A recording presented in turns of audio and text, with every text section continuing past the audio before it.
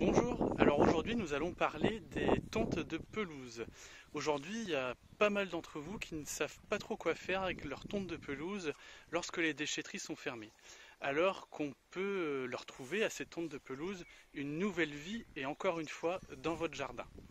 Donc nous allons parler aujourd'hui de la tonte mulching. Certaines personnes sont déjà équipées d'une tondeuse mulching.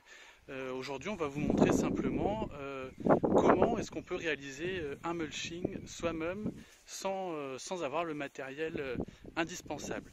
Vous allez voir que ça peut se réaliser avec votre tondeuse. Voilà, donc il vous suffira de prendre votre tondeuse, électrique ou thermique bien sûr, ça marchera exactement de la même manière, il n'y a pas de question de puissance. Donc vous prenez votre tondeuse, vous enlevez le bac et on va devoir laisser l'herbe coupée reposer sur notre, euh, sur notre beau gazon pendant un jour et le lendemain vous viendrez repasser un second coup pour broyer très finement les, les, tontes de pelouse qui seront restées sur le gazon. Alors vous voyez, euh, après avoir passé une fois la tondeuse, on va avoir des toutes petites traînées de, de tonte de pelouse comme ça sur notre gazon.